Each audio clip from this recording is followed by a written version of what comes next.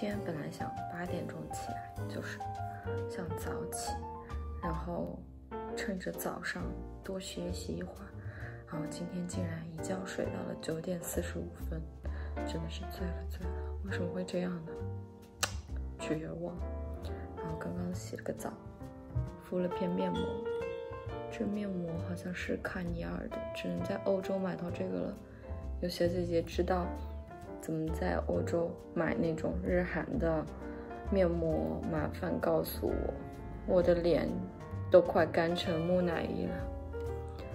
啊，今天要学习，拜拜。